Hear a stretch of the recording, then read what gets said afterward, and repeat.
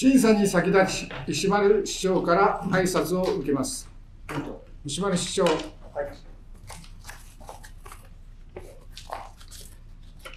本日は上呈した補正予算について審査をいただきます市民の代表として自覚を持ち議員の職責を果たしていただくようお願いしますこれより議案の審査に入ります。他に質疑ありませんか？はい、小玉委員。えっと15ページの、えー商工業振興事業費の、商工業者と地域連携推進業務委託料の480万円ですが、先ほどの説明であの良品計画の進出に伴って、業務委託を、まあ、地域協力隊という話でお話があったかと思うんですが、これは全額協力隊の方のとの業務委託料と考えてよろしいんでしょうか？えー小玉委員。あの今のご説明ですとその、まあ、仮に良品計画で出てきた時に、えー秋田方市がその人件費を持ってこの協力隊を雇って良品計画の仕事をの中身がよくわからんのですがその応援するということですか？あの今のお話だとまあえー良品計画の商品開発には協力していくということですがその出た利益っていうのは良品計画に入るわけですよね。で秋田方市は人件費を出しますよと。その売り上げの何パーか例えば秋田方市に入るとかようなことにならないと単純に人材の派遣と良品計画に対して開発事業というような見方ができるんじゃないかと思うんです。がその辺はおかしな見方なんでしょうか？教えていただきたい市民の方が利益利益を得ていくというようなところにもつながっていくというところでございます。はい、石丸市長。はい、あのまずですね技術振興の中で崎川議員が居眠りしているようにしか見えないので注意をしてください。目をつむってる時間が長すぎます。で誤解されたくないならば目ぐらい開けてください。情けない。はい、あ休憩どうぞ出ましたのでちょっと休憩します。で、会議を再開いたします。えーただいまの休憩中に、えー議事進行途中にですね、商工業者等地域連携推進事業委託料の件の質疑応答中、えー市長より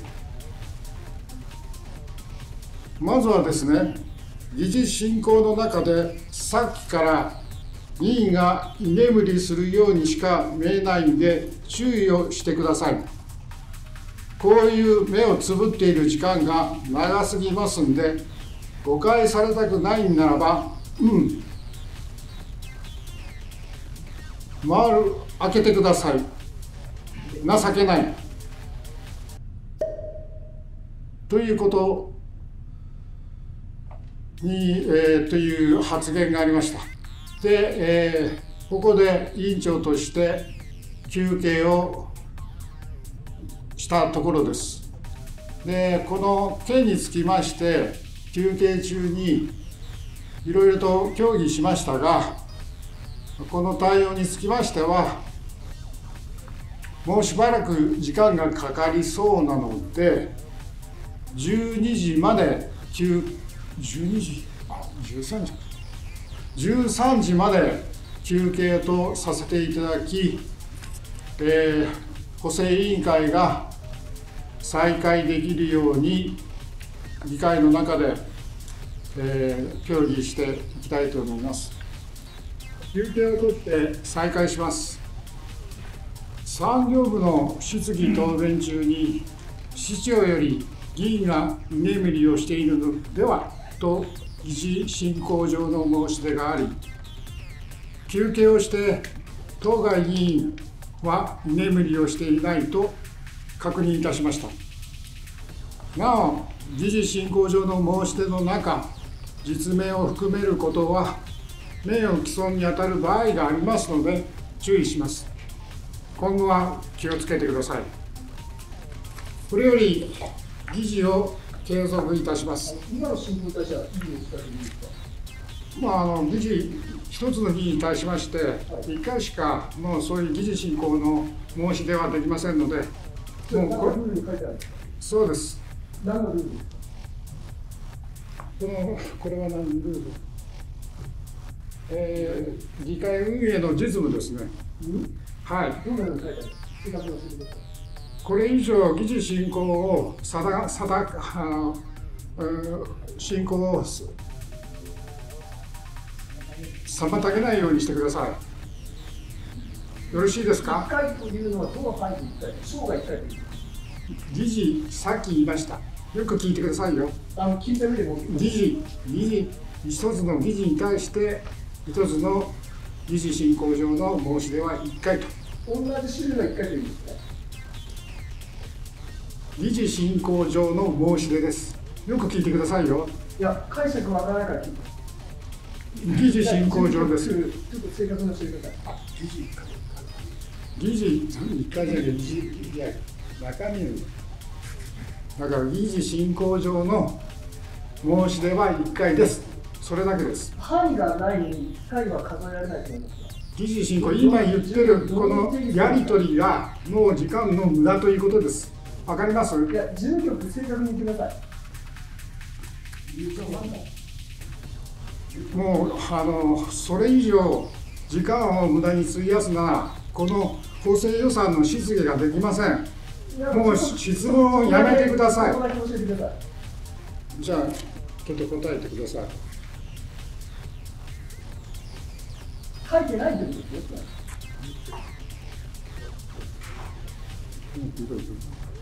じゃあ私が読みますね。議題に直接関係のあるもののまたは直ちに処理する必要があるものでなかなければならない。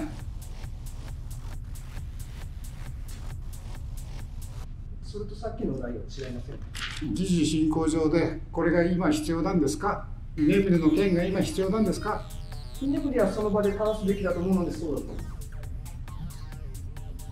だから先ほど冒頭申し上げたように居眠りはありませんでした私が伺ってるのはその後。議事につき1回限りというのはどの範囲において1回限りなのか明確にしていただかないとあなた去年言ったからもう終わりですって言われたらそれは納得できない議事一つって言ってるじゃないですか議事はどの範囲に聞いてください補正予算のこの一つの委員会第3号やってるじゃないですかあ、じゃあそのように言ってください。一つの委員会がない。事務局それだと思う。じゃあ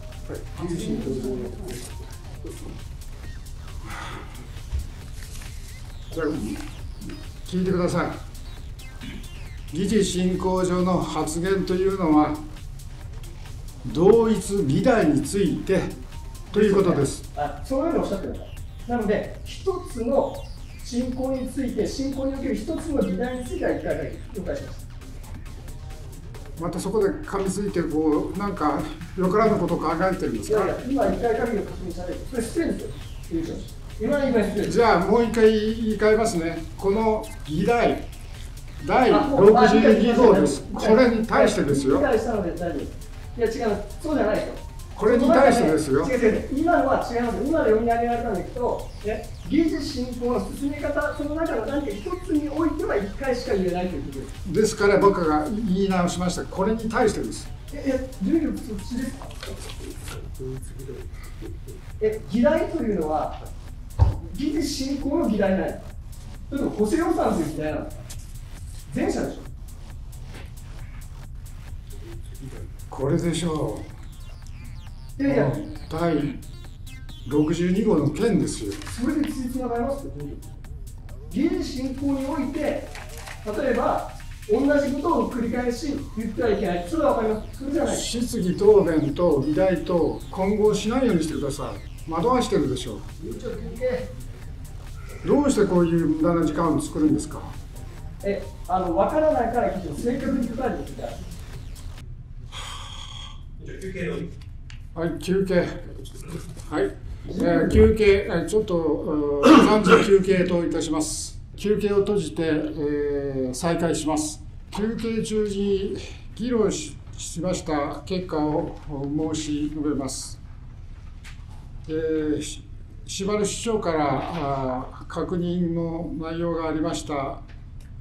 議会議題に対して1回について1回しか出せませんということはどういうことかという確認がありました。この件に対しましては確認したところ議事進行を連発する人がいますがこれは一つの議題について1回しか出せませんというものですが違う議題に対しては何回も出せれるということで市長の言う通りのことを確認いたしました。ただしこれは執行部の権利ではなくて議員の許可されている発言です。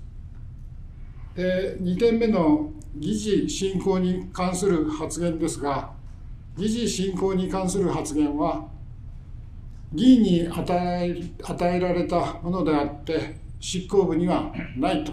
いうことです。執行部の発言というものは説明員としての発言ということに終始します。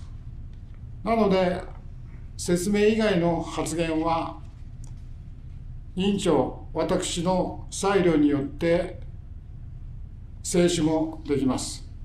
以上休憩中で確認した事項が以上です。これより議事を再開いたします。はい、西原市長。はい。先ほどのまとめについては疑義があるんですが、それを改めて事務局にお伝えします。